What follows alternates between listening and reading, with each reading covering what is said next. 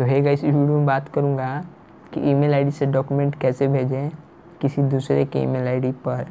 हाँ गाइस इस वीडियो में यही बताने वाला हूँ कि ईमेल आईडी के थ्रू कैसे भेज सकते हैं डॉक्यूमेंट गाइस किसी न किसी के मुँह से आपने सुना होगा कि ईमेल कर दे चाहे मेल कर दे या डॉक्यूमेंट भेज देना ईमेल आईडी से मेरे ईमेल आईडी पर। तो ईमेल आईडी से डॉक्यूमेंट्स कैसे भेजते हैं वो भी मोबाइल से। चलिए गाइस इस वीडियो में यही बताऊँगा और प्रैक्टिकल करके भी दिखाऊँगा। कैसे भेजते हैं डॉक्यूमेंट तो गाइस अभी तक मेरे चैनल को सब्सक्राइब नहीं किए हैं तो प्लीज़ सब्सक्राइब के बटन को उसे टच कर दीजिएगा। बराबर में एक नोटिफिकेशन बेल नहीं, एक घंटे के निशान उसे टच करके ऑल पर सेट कर दीजिएगा। तो भेजने के लिए आपको क्या करना होगा, उसके लिए आपको चलना पड़ेगा अपने ईमेल आईडी में, जैसे कि यहाँ पर ओपन कर लीजिए अपना ईमेल यहाँ पर मैं अपना ईमेल ओपन करता हूँ। ओपन करने के बाद अगर गाइस आपने साइन अप नहीं किया है तो साइन अप कर लीजिएगा, ठीक है? अगर साइन अप कर लिए तो इस तरह खुलेगा, नहीं किए हैं तो साइन अप कर लीजिए, करने के बाद इस तरह आपका खुलेगा। उसके बाद भेजने के लिए आपको क्या करना होगा? कुछ नहीं, यहाँ पर एक प्लस का आइकन होगा। सिंपली प्लस के आइकन पर क्लिक कीजिएगा। बहुत सिंपल ट्रिक है। इस तरह आएगा। आने के बाद देखिए, जैसे कि फॉर्म में, यहाँ पर फ्रॉम में मेरा ईमेल आईडी होगा, यानी आपका होगा टुडे में उसका ईमेल आईडी डालना है, जिसके पास भेजना है। सपोज़ कीजिए कि मैं अपने दोस्त के पास भेजूँगा तो मैं उसका ईमेल आईडी डालूँगा।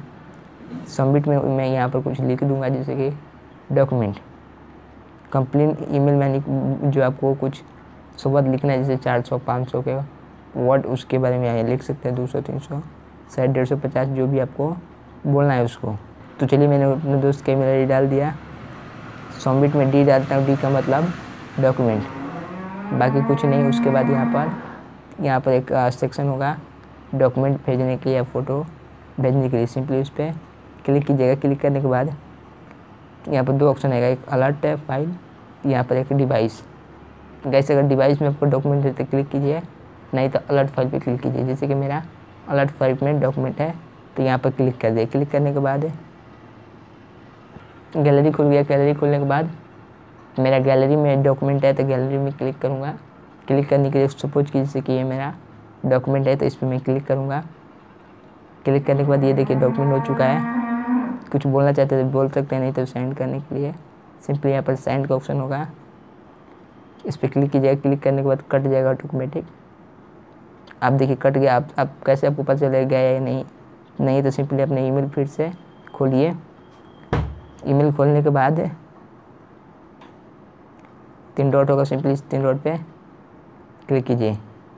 क्लिक करने के बाद सेंड पे क्लिक कीजिए। क्लिक करने के बाद देखिए ये यहाँ पर चला गया। इसी तरह चेक कर सकते हैं। तो आई होप आपको वीडियो पसंद आया। पसंद आया तो लाइक कीजिए शेयर कीजिए एंड चैनल सब्सक्राइब कीजिए। सुबह बाय फिर मिलूँगा नेक्स्ट वीडियो में, तब तक। Bye bye